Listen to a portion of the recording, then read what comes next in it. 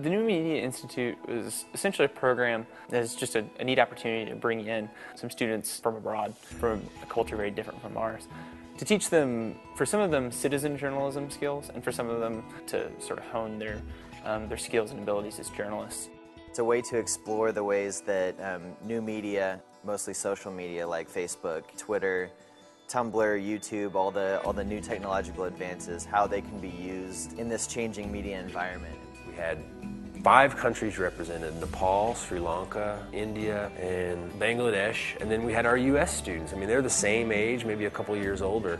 So you really saw that five mix of nationalities with wildly different ethnicities, wildly different religious experiences. We, really had to find shared experiences among our differences.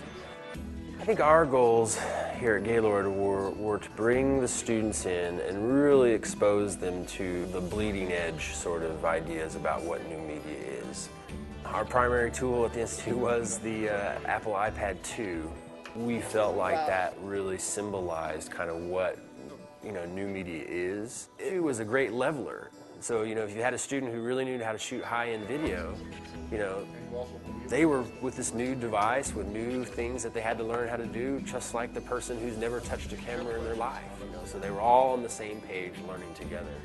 Back in my country, I didn't have a smartphone, so iPad was a really totally new experience for me. I'm not a techno-savvy person. I was not a techno-savvy person. I'm using the past tense here because since uh, all through through these uh, 17 or 18 days, I think I'm getting used to it a bit, and my confidence level is getting higher and higher.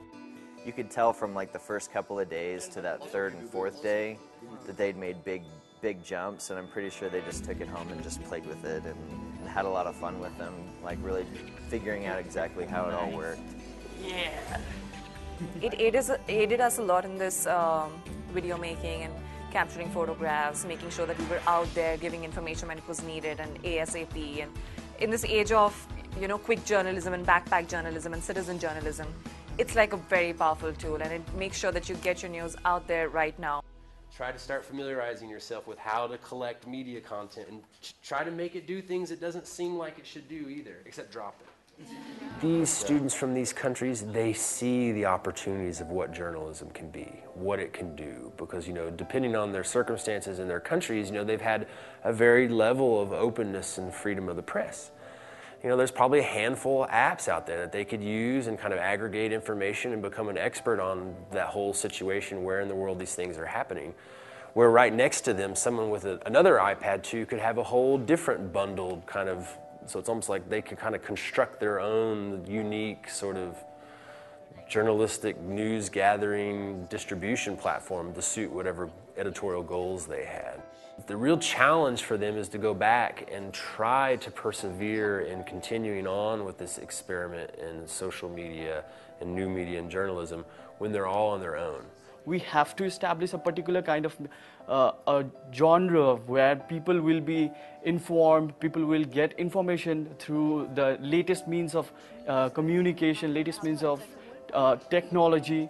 I'm going to make uh, maximum use of what I've learned here. If they can get that point where they truly believe that they have a voice and to, to kind of share that voice with others, you know, we, we've made an A grade. Uh, I made some small documentaries about the drug addiction in our, my country, in Bangladesh.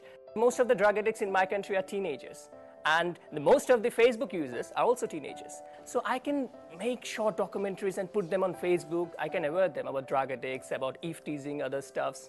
So I think that I can uh, contribute a little to the society. For them to really learn what new media is about and what role it can play in democracy for citizens, they have to realize it's them.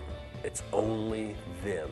Very important for a country like mine to make the people informed about the things going on. I think the amount of confidence that the teachers and faculty show in the students is just marvelous and it's really encouraging for me as a student. We have to keep that confidence in us. We have to keep that faith. Something provokes me from inside. Go, yes, go, you can do it. Go, yes, go, you can do it.